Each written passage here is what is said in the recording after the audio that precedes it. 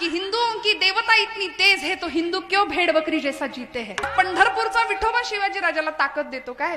ही तुळजापूरची तुळजा भवानी शिवाजीराजाला ताकद देते काय? तिच्या भक्तीची कवड्याची माळ राजा गळ्यामध्ये घालतो ना? म्हणून म्हणाली ही भवानीच फोडून टाकूया. एका क्षणाचाही विलंब न करता खाडकन मूर्ती आपटली. ठिकऱ्या झाल्या मूर्तीच्या. राजांना राग नसेल का आला? माझी तुळजा भवानी फोडली? राग नसेल का आला? पण नाही कृष्ण नीती अभ्यासली होती. राजांनी कृष्णनीतीचा अभ्यास हाच केला की ज्यावेळी अफजल खान स्वराज्याच्या दिशेने येत होता ना तो नुसता येत नव्हता. तो म्हणायचा की हिंदू की देवता इतनी तेज है तो हिंदू क्यों भेड़ बकरी जैसा जीते है? हा पंढरपूरचा विठोबा शिवाजी राजाला ताकद देतो काय? ही तुळजापूरची तुळजा भवानी शिवाजी राजाला ताकद देते काय? म्हणून अफजल खानाला खरं तर अगदी नॅशनल हायवे होता स्वराज्यात यायला. पण तो आला नाही तो तुळजापूर मार्गे आलाय. प्रतापगडाच्या पायथ्याशी. खरं तर सरळ येऊ शकत होता विजापूरहून डायरेक्ट प्रतापगडापर्यंत. सरळ रस्ता आहे की नाही? आता तर हायवे म्हणजे आता नाही यायचा तो. आहे की नाही? सरळ रस्ता होता पण नाही. त्याला असं वाटलं की ही भवानी तलवार राजाकडे ही भवानी राजाला ताकद देते तुळजापूरची. म्हणून म्हणाले तिच्या भक्तीची कवड्याची माळ राजा गळ्यामध्ये घालतो ना? म्हणून म्हणाले ही भवानीच फोडून टाकूया. म्हणून अफजल खान तुळजापूरला गेला. तुळजापूरच्या त्या तुळजा भवानीची मूर्ती आपल्याच लोक आपली हिंदू माणसंच होती त्याच्या सैन्यामध्ये. का? आमची मन मनगट मेंदू मरूनच गेला होता हो. आमची बाजूच नव्हती आम्हाला. आमचं सिंहासन नव्हतं आम्हाला. आमची छत्र चामरं नव्हती आम्हाला. आम्ही दुसऱ्यांच्या चाकऱ्या करण्यातच आयुष्य घालवलं. आणि आजही फार काही वेगळं नाही करत आहे. विठाल विठाल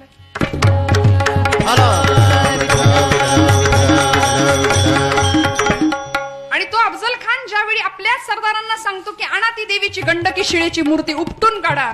आणि ऐका श्रोते हो आपल्याच माणसांनी त्याच्याकडे चाकरी करणाऱ्या लोकांनी त्या तुळजा भवानीच्या आदिशक्तीची गंडकी शिळेची मूर्ती उपटून हत्तीवर बसलेला तो क्रूर कर्मा अफजल खान नामाचा पठाण त्याच्याकडे ती मूर्ती दिलीये.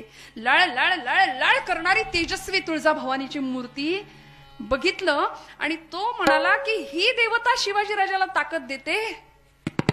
एका क्षणाचाही विलंब न करता खाडकन मूर्ती आपटली. ठिकऱ्या झाल्या मूर्तीच्या. जाती घेऊन माणसं बोलावली. भरडली मूर्ती. रांगोळी केली आणि तुळजापूरच्या प्रांगणामध्ये पसरवून टाकली. आणि अफजल खान म्हणत होता खदखदा खदखदा हास्य करत म्हणत होता मैंने परमात्मा की मिट्टी बनाई है. मैंने परमात्मा की मिट्टी बनाई है. है कोई मई का लाल जो मिट्टी से परमात्मा को फिर के फिर से पैदा कर सके?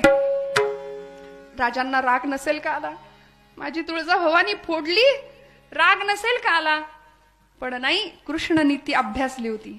म्हणाले आपने गली मी आओ आणि मग जेव्हा प्रतापगडाच्या पायथ्याशी खरं तर पंढरपूरला सुद्धा तो गेला होता. पांडुरंगाच्या मूर्तीला सुद्धा तो हात लावणार होता पण आमच्या काही भक्तांनी मूर्ती लपवून ठेवली म्हणून ती सुरक्षित सुरक्षित राहिली पांडुरंगाची. प्रतापगडाच्या पायथ्याशी आणलं आणि मग विश्वासघातानी त्याचा कोथळा बाहेर काढला. का?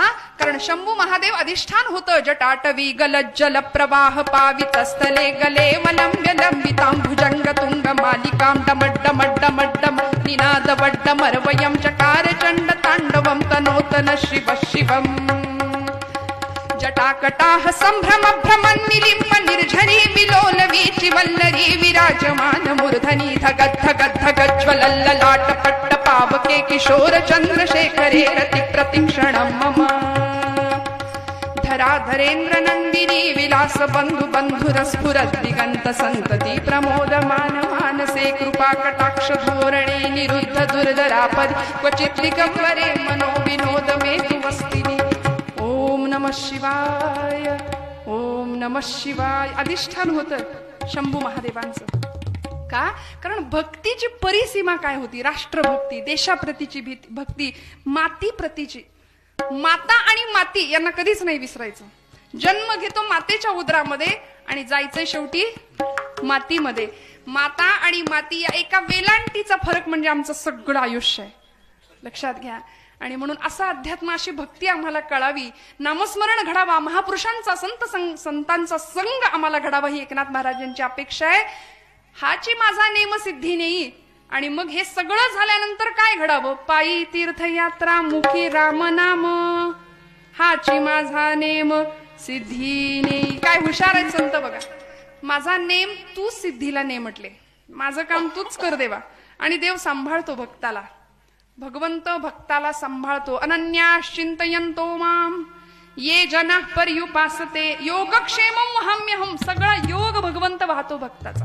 आम्हालाच असं वाटतं मी करतो मी करतो मी करतो. पण नाही सगळं सोपवावं त्याच्यावर. बघेल ना तो विश्वास ठेवूया थोडासा संतांवर ठेवूया भगवंतावर थोडासा ठेवूया आणि आपलं कर्म आपले प्रयत्न उत्तम प्रकारे करत राहूया.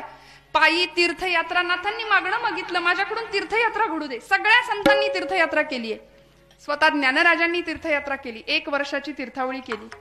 ज्ञानराज नामदेव महाराजांना म्हणाले नाम्या चल तीर्थयात्रेला बाहेर पड. नामदेव महाराज काय म्हणायचे माहितीये का? नाही माझा पांडुरंग विटेवरच आहे. कारण लहानपणापासून तोच पांडुरंग नामदेवांकडून जेवला होता खेळला होता हसला होता बोलला होता त्यांच्या कीर्तनात नाचला होता.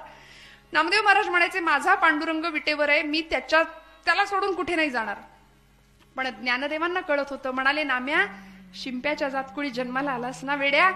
जगाला कळू दे रे नाम्या की नामदेव नावाचा शिंपी हा फक्त कपडे शिवणारा शिंपी नाही अवघा देश. आणि अवघा प्रांत शिवायला निघालाय. प्रेमाच्या धाग्यानी आणि भक्ती नावाच्या सुईनी. अवघा प्रांत जोडला नामदेव महाराजांनी आमच्या बाहेर पडले. एक वर्ष ज्ञानदेवांबरोबर आणि पुढची चाळीस वर्ष एकनाथ नामदेव महाराज स्वतः एकटे फिरले. तीर्थयात्रा केली. आणि तीर्थयात्रा केल्यानंतर कळालं की माझा पांडुरंग फक्त राऊळात नाही. तो कुठे आहे? तीर्थ विठ्ठल क्षेत्र विठ्ठल तीर्थ